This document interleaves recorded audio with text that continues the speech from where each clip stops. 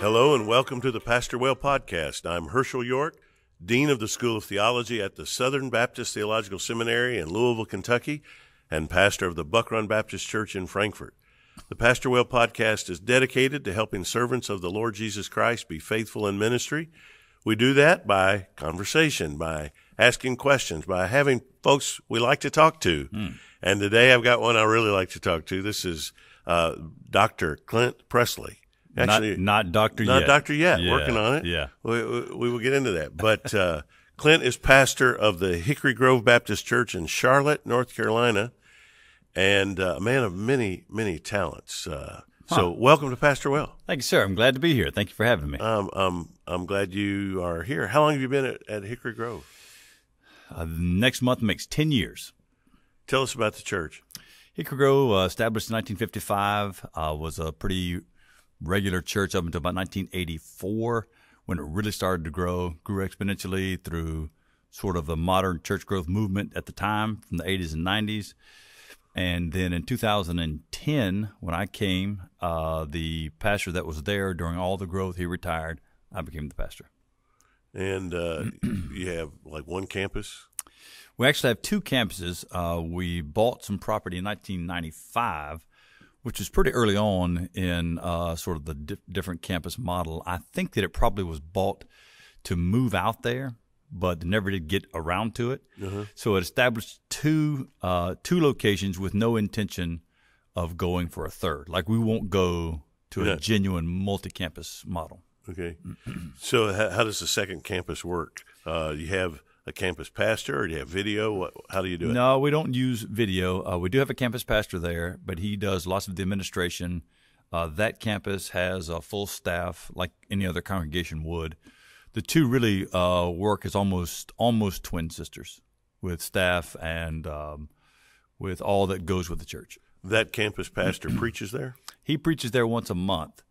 So once a month, I'll stay all day uh, at one place, and the campus pastor, say at our North campus, we'll preach there. And then uh, the following Sunday, I would stay all day at North, and then the main campus pastor would preach there. Otherwise, I preach at both places. You do. You, so, Mm-hmm. how how long does it take you to travel between them? It's a 20 minute ride.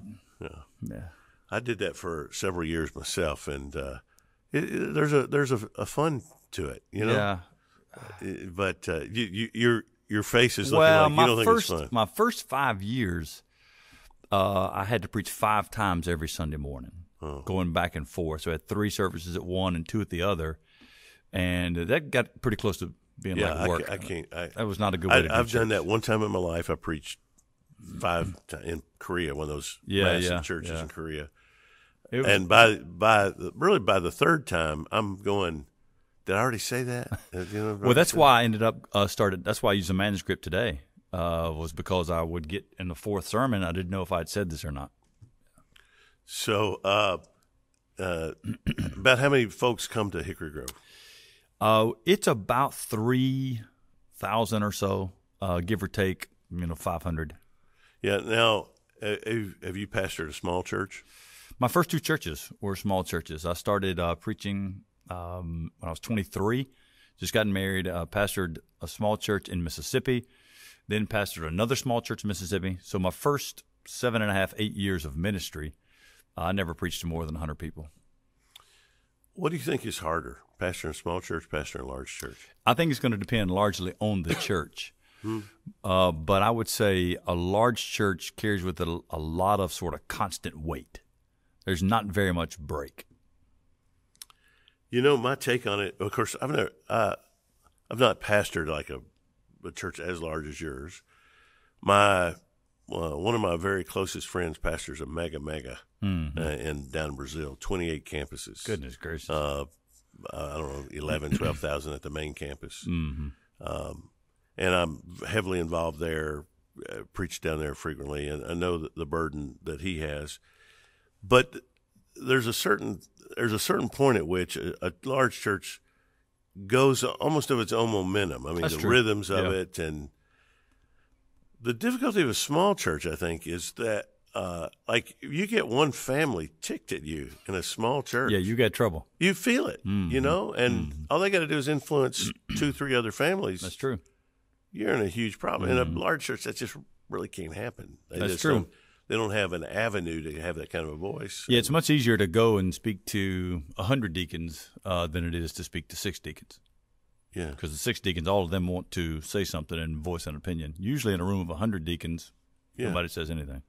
Yeah, that that uh, so the uh, the challenges are different. Mm-hmm. Uh, you're and some of this is a fit with your personality. That's true. Yeah. So uh, I see you as uh, first of all you you're an extrovert. Is that correct? That's probably true. Yeah. Yeah, I mean, uh, and you're you're. I, I never see you do anything halfway. Is that right? Yeah, and I, this is something I admire about you. It's sort of the opposite of me. I'm I'm an introvert. Are you really? Oh, I, I am. I have to. I wonder why you're always running away from me. Yeah, well, uh, afraid you're going to slap me on the back, you know. Uh, you you are a, an incredible people person, and uh, you you have the the same to me. You have the same demeanor in the pulpit as you do in the hallway. And I, again, I see this as I a strength. that. That's awfully kind. m- More than anything, you know, the Lord uses all, All kinds different of people, kinds of right. personalities Right. but that's yours, and I think you Mm-hmm.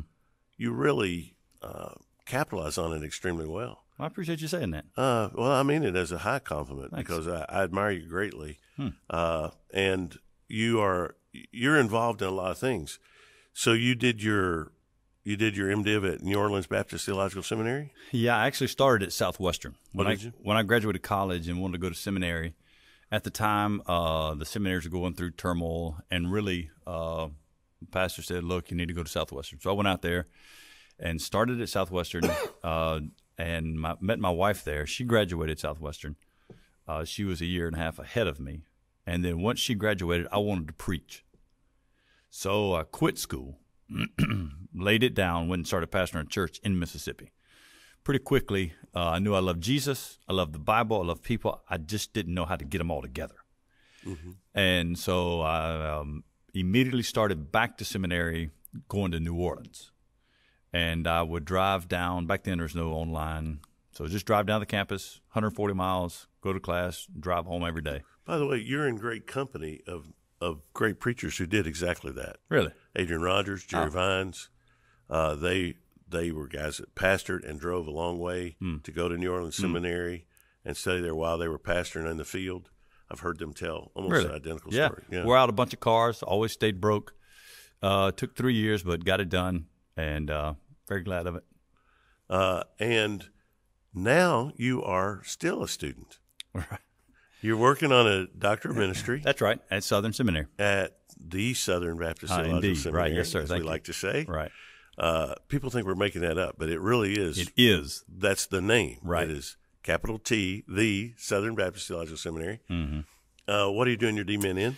Doing it in uh, expository preaching uh, and leadership. So using the pulpit to lead change uh, at a church like ours. Well, that's a great topic, one that I believe in very, very much. Mm. So, what's your what is your project you're doing? Well, I'm uh, hopefully going to use what uh, we've done, some of the things we've done to provide sort of theological, doctrinal, devotional change uh, at a church like Hickory Grove. Church uh, Hickory Grove was and is sort of the classic model of a mega church as defined in the Southern Baptist Convention. How it got there was a typical means that everybody used to get there. And then, so we're on the back side of that. What do you now do Now what? now with all of this? Yeah, and especially since everything is in decline. Everything is in decline. So Everything, you know, I so what do we downtown church, do? urban church, suburban church. what what do we do? And uh, I think it starts in the worship center at the pulpit. Um, well, uh, tell me your how do you use the pulpit for leadership? Yeah, uh, in a lot of ways, uh, I think that uh, you you do um, leadership, you do discipleship, you do m- motivation, you'll do uh, tone change, you do culture adjustment. Uh, all goes on in in the worship center. Absolutely, It has a start there, it absolutely. and I does. think that uh, we underestimate the the discipleship element of what happens on a Sunday morning at church, and I think we've tried to re-engage that in our uh, in our worship services at Hickory Grove. So tell me how you how you preach. Uh, like, do you preach series? Do you preach through books? What do you do? Yeah, our church was not accustomed to uh, any sort of long term exposition, so I had to ease the church into that. I was started with Year of the Bible, preached, so I preached a sermon on almost every book of the Bible just to get them accustomed to doing that. Then we dropped into the Gospel of John, took a year through John. Uh, then we kept it at a year and and shortened the book to Ephesians. I overplayed my hand a little bit doing that. I should have waited another year before I did that. But then uh, that got our church accustomed to uh, going through books of the Bible and spending a year or two. So now it's two years per book. Okay, I want to back up. All right. You said I should have waited. First of all, how do you know that? Well, what, that's, what that's told true. you you should have I- waited? uh, maybe of the the rapid departure of people. ah, really? Yeah. Oh yeah, we had plenty of that. Yeah, I ran all kind of people out of the church. Well, And over over that commitment to preaching through books was that it? Some of it, or- it could be they just didn't like me. I, you know, who knows? Uh, they were introverts. Right. yeah, I come on too strong. I don't know. Uh, I I had a lot of that go on. I think some of it too. You get into Ephesians pretty soon into Ephesians one four. You're dealing with uh, election, Uh-huh. and people get nervous. Yeah, It was something new uh, for our church to hear yeah. The fact that you were dealing with it at all. at all. What, yeah, exactly. Yeah. That, a lot, a lot would just simply avoid it. Mm-hmm. Uh, but We're- it's I'm in it now. I mean, I'm in Romans eight, and uh, just before going into Romans nine yeah, in a couple that, of weeks. that is true. Nine comes after eight. Oh man, that. look, I wish it didn't. Actually, the truth is, once people get the ethic of, like, Yeah, yeah. Pastor, if you show it to us in the Bible, we'll believe it. And I'd say 10 years in, the people that are with you now are there. Our folks have been very kind, honestly, genuinely, uh, been very gracious. Well, two things happen. One is uh, people make a decision am I going to stay with this guy or not? Yeah, And those that don't obviously go somewhere else. But the people who stay, they've reached a settled decision. No, I, I like this. This feeds me. I, I, Well, I hope that's the I believe this is. I this trust is that you- good. And then everybody else that comes into the church, Right. they come in already Right. uh, predisposed to be behind you because you're part of their calculation of why they're joining the church. honestly, we have seen that uh, at our at our North Campus. Fifty-one percent of the people that are attending there now have come in the last ten years. Yeah. Well, and uh, I believe you you develop, and once people get that taste for the Word of God, and just like they see the way it fits, Mm-hmm. that's the thing. They're not. You're not just telling them little Bible stories and pulling stuff out. Right. They're seeing the grand scheme of things. It- But but it it, it is an acquired taste. Yeah, it is. Yeah. But uh, it's good for you. No, indeed. It and it does put a pressure on you to be good in the pulpit, doesn't it? I don't know about that. Uh, Really? uh, To be good, uh, you do want to be interesting. You want to be faithful. Yeah, that's you what- want to be energetic. You want to be engaging. I'd call that good. Okay. well, yeah, I would. I didn't want to say it though. Yeah, but I mean, uh, you what you can't. What I mean is, you can't phone it in, No. and you no. can't just get up and recite Matthew Henry. No, that's right. You Right. you've, you've got to be engaging. Uh, I call it thinking on the perceptual level, Hmm. where you're not merely thinking the concept. Like here's this doctrine or the content of this verse. You're thinking, okay, how do I say this in a way that grabs them, Right. that interests them, that that pulls them in? And I think that's really what good preachers do. Now I've heard you preach, and you do that. Oh, good. All right. Yeah, you, you think on the perceptual level. Tell me about uh, your lovely bride, Connie. Connie LaBelle Smith Pressley. I, mar- I met her I love LaBelle, LaBelle. Connie LaBelle. You know, thankfully, um, she has a grandmother. Uh, had a grandmother. Her name was Lily Bell, and her dad wanted to name her Lily Bell. And by God's grace, her mother intervened, and they shortened it to LaBelle. Uh, I've been married to a girl named Lily Bell. anyway, her name's Connie LaBelle. Yeah, she'd be worth it. Uh, met her uh, at Southwestern. Wonderful woman. I'd never met a woman like that that was uh, so genuinely Christian. And really uh, fell in love very quickly. Uh, met her, dated her on a January the 11th was our first date. Uh, Easter, I asked her to marry me, and September of '92 we were married.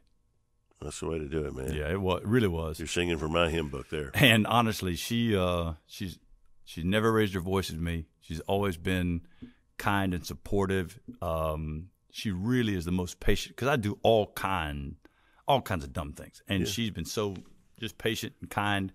I wouldn't have the ministry I have if it weren't for Connie, I without believe- question. Yeah, I believe that.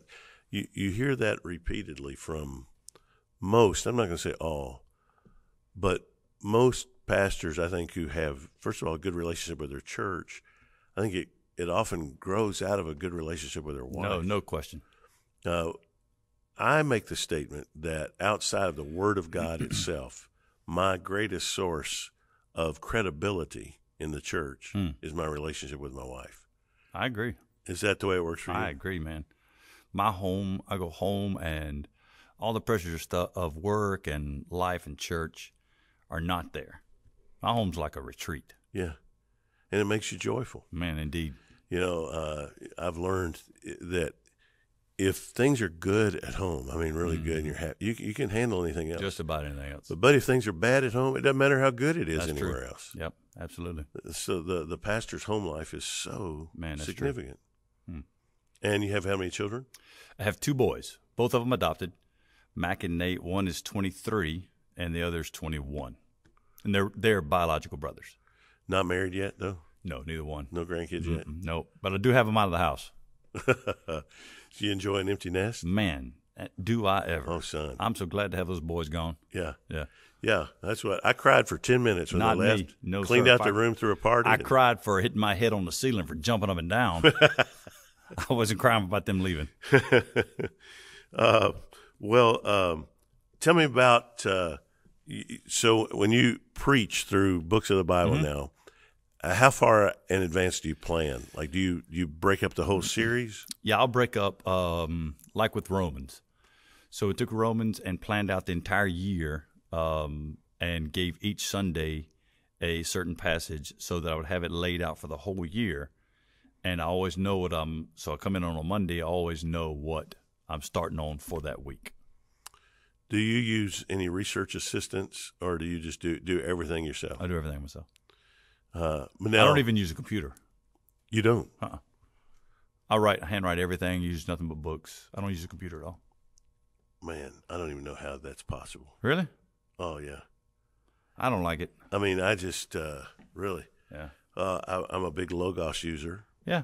I got ten thousand books right there on my Right. iPad. Look, you I know those that do it love it, and, And- and I get I get this sermon a lot. I reject it. Oh, Wow. That's uh, so you're a luddite, uh, technologically with Well, that's with true. preaching, That's true. Yeah. just with with, with preaching. Uh, so uh, you consult commentaries Oh yeah. Yeah. uh, before or after you do your basic layout Do of the basic uh, layout, basic writing, thinking over, uh, praying through, and just mulling. So I handwrite it all out. and Then it starts to break out. For me, oftentimes you can start seeing it pretty quickly. What's subordinate, uh, where the thoughts are, what words might be worth really tracking down. Do you? So you say you preach from a manuscript? hmm Uh, how wed to that manuscript are you?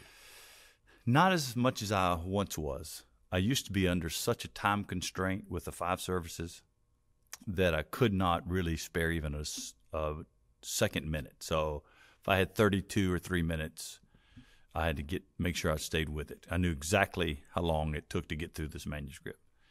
Uh, now I probably import 25, 30 percent of what I've of my sermon is probably not scripted.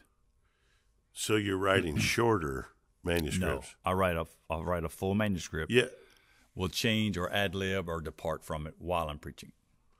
and then you can pick back up. Yeah, that is right there in front of you. Yeah, Huh. Uh, that's a lot of thinking on your feet.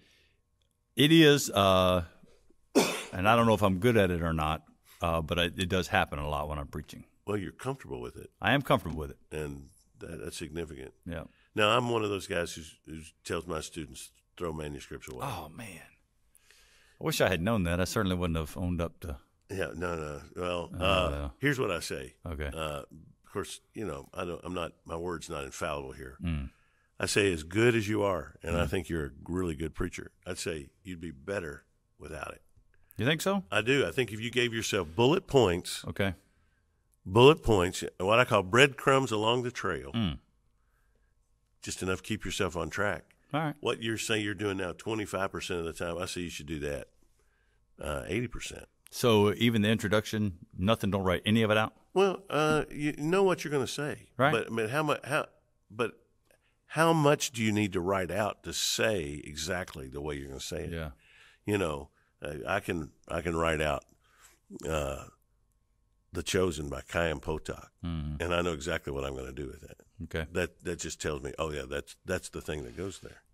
Look, I'll be at the Southern Baptist Seminary in April. Between now and then, I'm going to try that. Okay. All right. Uh, here's the. Th- it gets down to trusting yourself. Mm. Trust what you have digested. Sometimes though, when I come off script, I say things that I probably shouldn't say. I, I I find that hard to believe. No, it's true. Well, you know, if you get yourself in trouble, go back to the manuscript. Right? Don't blame York. Okay. Okay. What do you do for uh, for fun? All right, man. I don't you know. hesitate. Yeah, right I don't there. know. Uh, like what? What are my suggestions? What are my? Well, some guys play golf. No, I don't play golf. Uh, do you? I mean, anything anything you would call a hobby? Not really. I like to read at night. Uh, I don't do it. I'm really boring. Genuinely. Yeah, you're really productive too. Now, here's my question: Oh. Is do you? Uh, I know you're productive, and I I think you achieve an awful lot. Do you give yourself enough recreational time? I think so. Um, I like to exercise. Do that early in the morning. Uh, I like to read every night from nine to ten. Uh, we'll read. Uh, so I'll close the day out reading. Uh, it feels like you know relaxation. Yeah. Well, again, if it's Yeah. if you if it's emotionally satisfying to I you, think I'd so. say that Take that a day works. off each each week, and yeah, What do you do on your day off? uh, Connie and I'll do something. Uh, go to lunch or something. She wants to go somewhere. Maybe just hang around the house. Maybe work in the yard. Uh, do you guys travel much? Not much. You know, it's hard to travel with Sunday. You always got to be back for Sunday. Mm-hmm. So maybe someday. So, uh, a question I like to ask people. See, Tanya and I are big travelers. Okay. So, uh, one thing that helps me see in somebody's mind is, like, if you could go anywhere in the world with Connie right now, where would you go? Probably to uh, England, Scotland, Ireland. We've been there before. Really loved it. Yeah, Would love to spend more time there. I'd like to spend, you know, three or four months there. yeah. But you know, when you're at a place like England, you're actually learning. You know, you're not you're not going to England to Right. to do nothing. I enjoy that, but I also I like the beach thing. You know, I like to go do nothing. Well, now we our vacation is absolutely nothing. Oh, it is. genuinely. Like we go and sit every single day. I don't get up. I wake up when I wake up on vacation, when my eyes open, spend time with the Lord, go do some exercise, go to the beach, read. When the sun goes down, we'll go back in. Yeah, I like That's what that. we do. Yeah, that's good. Mm-hmm. Uh, so, uh, what books on preaching do you think are are formative in your life? I can't think of any. No, like Lloyd Jones, Stott. I've heard them all. I, you know, I've read them all, and they're all good. I don't know any that, that like just changed. Well, who shaped you? Who, who who made you first see preaching as something you wanted to do? Okay, so I always wanted to be a preacher, but I was a Presbyterian. I didn't want to be that kind of preacher. Uh-huh. There was a PCUSA, Wow. and so I just I knew I didn't want to uh, be that kind of preacher. And I had a friend that lived in Roanoke, Virginia, and went to see uh, her family, and went to church at First Baptist Church, Roanoke, First Baptist Church I ever went inside. And the man standing up there had an open Bible and was preaching with such uh, intensity that when we came home, I talked my mom and dad into going to a Baptist church. And there, Joe Brown, who was Yeah. My predecessor. predecessor was the pastor, and that's what gave me a love for the Bible. Well, a love for the for preaching the Bible. Now he he was not an expositor, so I didn't know exposition yet. And uh, when I was in seminary at New Orleans Seminary, uh, the first time I ever heard the phrase expository preaching came out of Ted Traylor's mouth. He was preaching in chapel, and uh, his description of what it was and what he wanted to do was what I wanted to do. So once I once I found out the phrase and what it what it was, I found a man at New Orleans Seminary. His name's Rick Byargeon. He's dead now. In fact, I preached his funeral. He was my Hebrew professor, and he was an expositor. And he's the one that actually taught me what to do with the Bible. But it wasn't a preaching professor, it was a, a Hebrew professor that showed me what to do. Interesting. Yeah. Um, that that was when you were in seminary. Mm-hmm. What? Tell me about your college years. You played football. Right? Yes, sir. I, I uh, came out of high school, went right to Wofford College, and uh, played football there four years. That's in Spartanburg. Mm-hmm. Yeah, it was a one double A school. Uh, and uh, and so were you were you going to church at that time? Oh yeah, yeah. So we play on Saturdays, and and if we made it back in time, I got up on Sunday morning and uh, got dressed and went to church. Baptist church at that point. oh yeah, that, at that point I was already a Baptist. I joined the Baptist church in the eleventh grade. oh, 11th grade. Yeah, and so by that time I was fully in. Yeah. Well, um, what you what do you mind me asking? How old are you? I'm f- I'll be fifty one next month. You look very young. I do, Yeah, you really do, man. I don't feel it. man. Um, boy, How old are you? I'm I'll be 60 in March. Okay, so the, almost ten years between us. Yeah, and you look like 20 years younger than me. So But you got ten more years of ministry. yeah, Yeah. Well, and I do three things. You know, Yeah, so that's right, That's, right. that's why it's aging me Three so. times the man. Uh, what do you, so let's say you got 20 years of Okay. really super active ministry Right, left. right. Let's say that. What do you want those to look like? I'd like the uh, the, the next ten to look very similar to the last ten. Running, I hope to be able to run uh, at the speed and intensity I've done the last ten. I do want to uh, avoid, if I can, uh, being staying too long somewhere.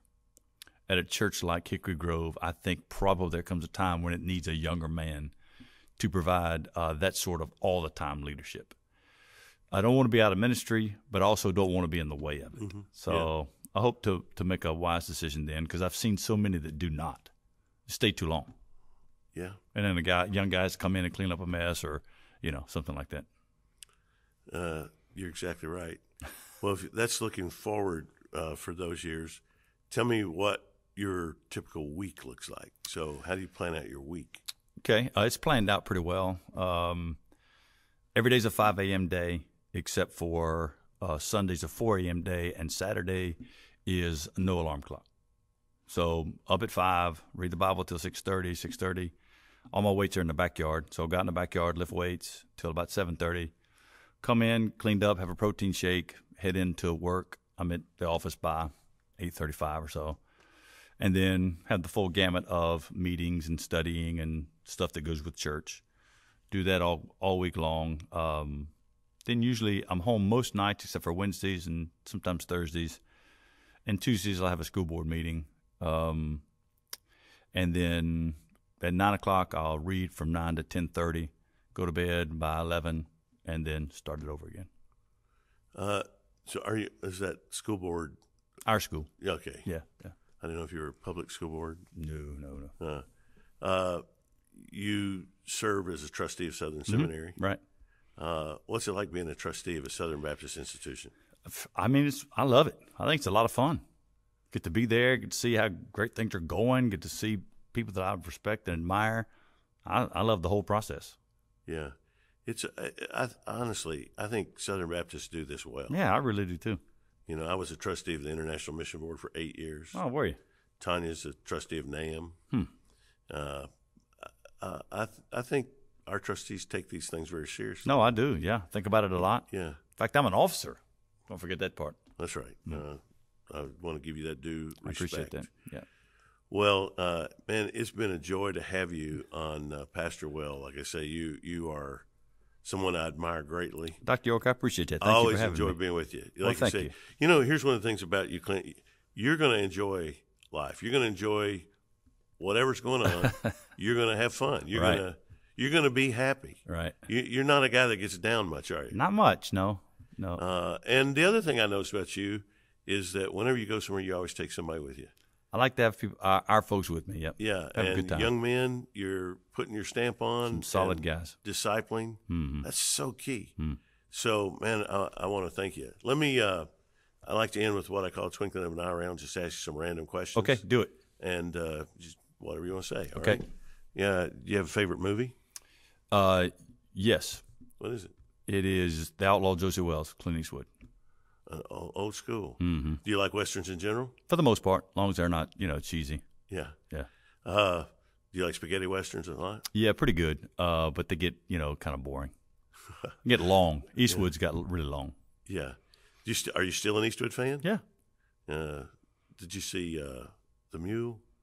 N- Uh, yes. Where he, yeah. Yeah, I did see it. Yeah. Uh, he's fascinating to me. Yeah, he really is. Uh, Yeah. What he's doing. Um, how about secular books that have influenced you? Mostly uh, history and biography. Um, became a real big fan of Theodore Roosevelt. I think he's probably the the greatest sort of, maybe even greatest, greatest American leader we ever had. So that really influenced me. What uh, uh, what preachers have influenced you? Like that you, that you listen to? Say, are there contemporary preachers you listen to? I really don't listen much to uh, preaching. Yeah. I don't. Ha- I mean, I'd rather be reading or doing something else. Any podcast you listen to Mm. other than this? one? Other than this one, I listen to the briefing every morning when I'm shaving, getting ready. Uh, for the most part, I listen to this one some. Uh, I listen to. I don't think I, we we've got a podcast at the church. I don't know that I've ever listened to it. Do Do you discuss your sermons with Connie Oh yeah, before or after? both. Uh, I'm usually writing the manuscript on uh, Saturday evening from two thirty till about six thirty. I'm writing it out on Saturdays, and then she's cooking. Uh, she'll cook some supper, usually a breakfast. I always have breakfast for dinner on Saturday nights, and then uh, I'll talk to her about it then. And then she rides back and forth with me on Sundays. All right. One final thing. All right, You are impeccable in your dressing. but not nowhere close to you, Doctor York. oh, let's come be on. honest. Come Uh, on. You, you, you on. are so far beyond anything Mm, that I I have you. ever done, and you just always look super sharp. Well, thank you, What is your favorite brand of shoe? Allen Edmond. Allen Edmond. Not not only the favorite brand, brand the only kind of dress shoe. Because they last forever. And see, I'm that way with Cole Haans. They're they're Oh yeah, they don't hurt my feet. I don't worry about that. It's Yeah. better to better to look good than to feel good. Okay, you Yeah. know, my, my mother's in that camp. That's my mother's philosophy. and at 87, she's still wearing high heels. I can appreciate that. Yeah, well, All right. I'll have to introduce you sometime. well, uh, uh, Dr. Uh, Clint Pressley, Pastor Clint Pressley, I will say uh, thank you for being on Pastor Well. It's always a joy to be with you. Uh, you encourage me greatly. I appreciate uh, I that. thank God Thank- for your spirit, thank your you. Leadership, and the way that He's using you. Uh, thanks for tuning in to Pastor Well. I hope that you'll subscribe on YouTube or your favorite podcast app. We'll see you again next time on Pastor Well.